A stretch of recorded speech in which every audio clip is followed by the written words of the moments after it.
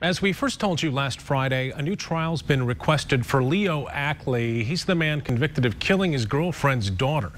It was in August of 2011, a pediatrician noted in a CPS report that three-year-old Bailey Stenman had non-accidental head trauma, also known as shaken baby syndrome.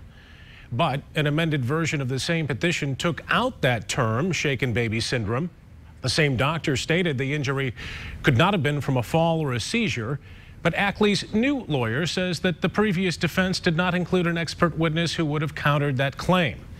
Since so much of this new decision is based around shaken baby syndrome and that diagnosis, we wanted to get more information on that condition for that, we're joined live now in studio with Dr. Jason Umfleet, pediatric neurologist at Helen DeVos Children's Hospital. Doctor, thanks for coming in tonight. My pleasure. Is this an airtight diagnosis for shaken baby syndrome, or is there some conjecture involved? Well, the diagnosis of ba shaken baby syndrome has been around for quite a long period of time. Um, recently, there have been some concerns that possibly there's not enough force involved in shaking a baby to potentially cause the injuries that we see in shaken baby. However, the general consensus in the medical community is it's still a real diagnosis and children really do have injuries from being shook. Could injuries from a fall mimic uh, the injuries that you would see from SBS? Well, it's very, very unlikely that's going to happen actually. Um, when you look at falls in general, um, deaths and serious injuries from falls, from short falls um, uh, specifically, are very uncommon, actually. Would this change in, I guess, the approach of the diagnosis for shaken baby syndrome be enough to go back and reverse past diagnoses?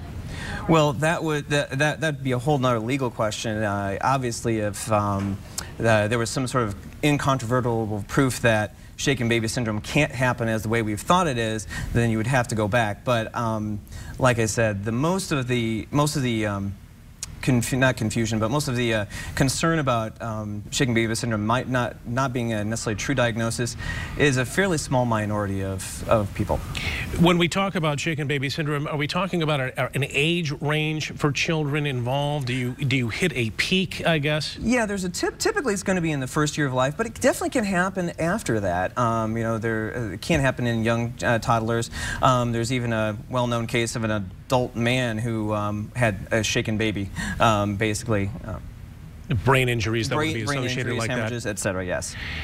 But bottom line, the, the, physicians are going from their collection of knowledge, they're looking at what uh, the injuries are, and then they're making a diagnosis. Is it based on the evidence involved? Is it based on their gut feeling of what might have happened, or a little bit of both? Um, it is, uh, should be always based on the evidence that is at hand. Um, that includes both the history, the physical exam findings, um, findings found on CT scans of the head, x-rays, as well as, you know, um, what um, people who are involved in the care who could have potentially been perpetrators say about what happened. So they're making an assessment based on all of that. Yes. And what you're saying too, shaken baby syndrome, as far as the diagnosis goes, the majority of physicians out there still rely on uh, this and, still count it as. Absolutely, that's still a solid diagnosis, yes. Interesting. Yep. Dr. Jason Umfleet, uh, with a pediatric neurologist with Helen DeVos Children's Hospital.